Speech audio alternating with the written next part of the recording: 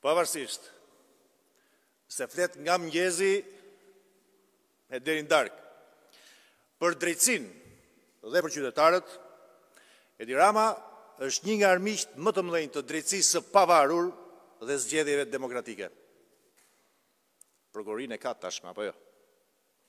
E me kontrollin e plotë mbi prokurorinë, Edi Rama ka bllokuar çdo veprim të drejtësisë kundër atyre që blejnë vota, kundër kriminelëve që ai përdor në zgjedhje, kundër komisionerëve që ai përdor për të manipuluar rezultatin, për të mbajtur në këmbë pushtetin e korruptuar dhe kriminal të atij vetë, Edi Ramës. Me kontrollin e plotë mbi prokurorinë, Edi Rama ka stopuar verifikimin e kriminelëve të tij në të paktën tre bashki të vendit, për të cilët Partia Demokratike ka sjellë dokumenta të pakundërshtueshëm. Megjithëse kanë kaluar disa javë nga denoncimi i tyre, kriminelët e Ramës vazhdojnë të drejtojnë bashkitë. Vazhdojnë të mos përballen me drejtësinë për shkak të mosveprimit të prokurorisë. Prej më shumë se tre muajsh, Partia Demokratike ka referuar në Prokurori krimin shtetëror të tridhjetë qershorit. Rastet flagrante të blerjes votave, presionit mbi administratën, shkeljen flagrante të ligjit nga komisionerë të gjitha niveleve, manipulimin e votave në tridhjetë qershor, por organi i Prokurorisë nuk ka bërë asnjë veprim. Deri tani nuk ka asnjë procedim penal të regjistruar. Deri tani nuk ka asnjë person të hetuar, deri tani nuk ka asnjë person të arrestuar.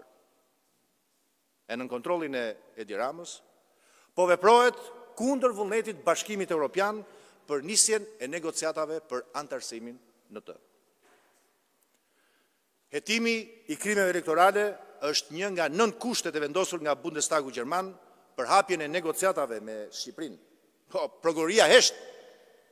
Hajdutët e votave ishin, janë dhe mbeten paprekshëm. Ata nuk hetohen e nuk ndëshkohen për një arsye fare të thjeshtë.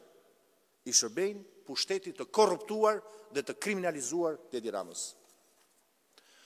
duke mos regjistruar zyrtarisht asnjë procedim penal që lidhet me zgjedhjet, prokuroria ka zhvlerësuar edhe vetë Odirin, i cili theksoi në raportin e tij se ishte dëshmitar i rasteve të kërcënimit votuesve dhe shkeljes së fshehtësisë së votës në qendrat e votimit.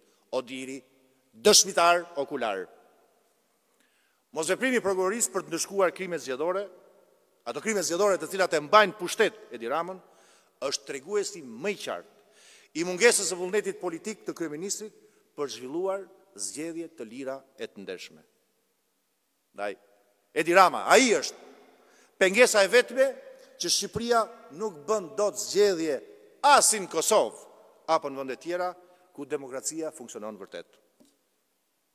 Mungesa e vullnetit politik të kryeministrit për zgjedhje të lira e të ndershme ka bllokuar edhe zbatimin e planit me pesë pika të opozitës së bashkuar për realizimin e një reforme të vërtetë elektorale, një plan që është pikënisje për zgjidhjen e krizës së rëndë të vendit.